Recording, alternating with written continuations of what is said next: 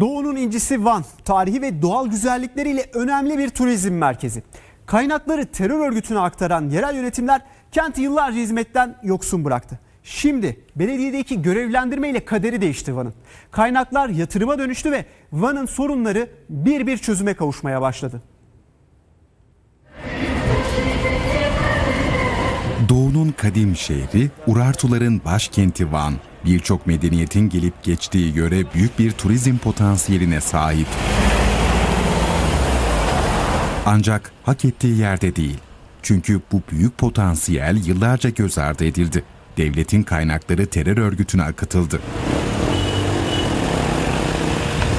Yörenin kaderi İçişleri Bakanlığı'nın Van Büyükşehir Belediyesi'ne görevlendirme yapmasıyla değişmeye, hizmet kapıları açılmaya başladı.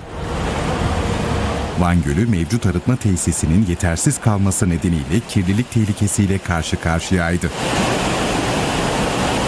Van ve merkez ilçelerinin kanalizasyonunun en az dörtte üçü arıtılmadan Van Gölü'ne dökülüyordu. İlk iş bunu önlemekti.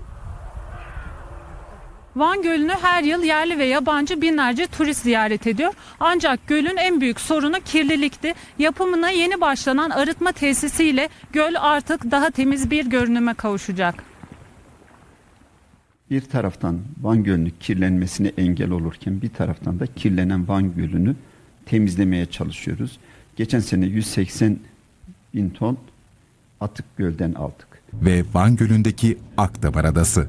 Akdamar Adası inanç turizminde önemli bir yere sahip ancak adanın en büyük sorunu içme suyuydu. Artos Dağı eteklerinden çıkarılan temiz su borularla Van Gölü'nün altından adaya taşındı ve adanın içme suyu sorunu da çözülmüş oldu.